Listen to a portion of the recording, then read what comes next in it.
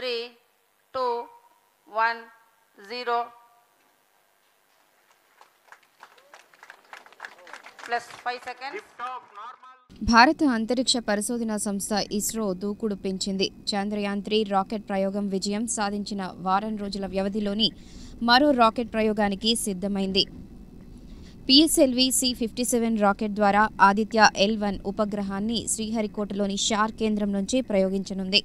శనివారం మధ్యాహ్నం పదకొండు గంటల యాభై నిమిషాలకు ఈ ప్రయోగం జరగనుండగా దానికోసం ఇప్పటికే కౌంట్ డౌన్ మొదలైంది यह करीबन 110 सेकंड तक चलेगा इस दौरान यह 4800 किलो न्यूटन का प्रणोद उत्पन्न कर रहा है ఈ సందర్భంగా ISRO chairman doctor Somnath director రాజరాజనులు Sullurpeta గ్రామదేవత అయిన చెంగాలమ్మ పరమేశ్వరి అమ్మవారిని దర్శించుకున్నారు సూర్యుడిపై పరిశోధనల కోసం నింగిలోకి పంపనున్న ఆదిత్య ఎల్వన్ ప్రయోగం విజయవంతం కావాలని అమ్మవారిని వేడుకున్నారు. వీరికి ఆలయ అధికారులు స్వాగతం పలికి అమ్మవారి దర్శన ఏర్పాట్లు చేశారు.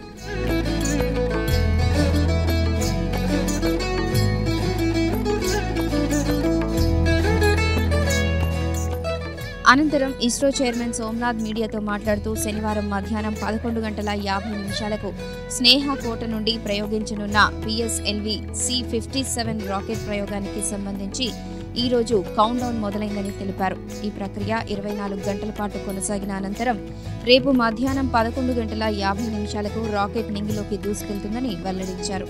నూట ఇరవై ఐదు రోజుల పాటు ప్రయాణించిన అనంతరం సూర్యుని పదకొండు పాయింట్ వద్దకు ఉపగ్రహం చేరుకుంటుందన్నారు. అలాగే అక్టోబర్ మొదటి రెండు వారాల్లో టెస్టింగ్ గగన్యాన్ ప్రయోగం చేపడుతున్నట్లు అనంతరం సిఎస్ఎల్వి మార్క్ టూ రాకెట్ ప్రయోగం ద్వారా ఇన్సాట్ త్రీడీ ఉపగ్రహాన్ని నింగిలోకి పంపనున్నట్లు తెలిపారు.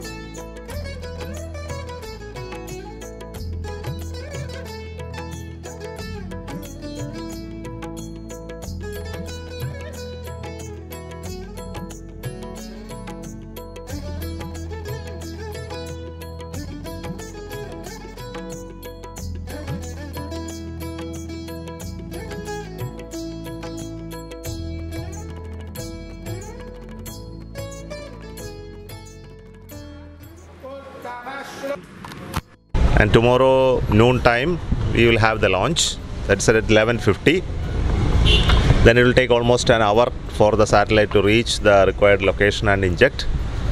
Uh, so the aditya l1 satellite is for studying our sun. And uh, it will take 100, another 125 days 125 days to travel from earth to reach the point where the satellite will look at sun called the l1 point so I came here to pray to Changalamba Parameshwari for getting us the strength for making this launch again. Very important launch, successful. And uh, thank all of you for being with us during Chandrayaan 3 launch as well as for the launch of Aditya L1. Wishing you all the very best. Thank you. After that, after that launch is uh, Gaganyaan launch. Gaganyaan launch will be a test vehicle launch. So it is getting ready. So that will happen mostly by October uh, fir- first or second week. Another one, sir. After that, uh, we will have launch of uh, GSLV Mark II GSLV launch for INSAT 3DS. Then uh, we will have launch of SSLV D3. Okay. Then again we will have launch of PSLV. Then we will have launch of GSLV Mark III. Like that, it will continue. huh? Pregnant Thank you, thank- Sir.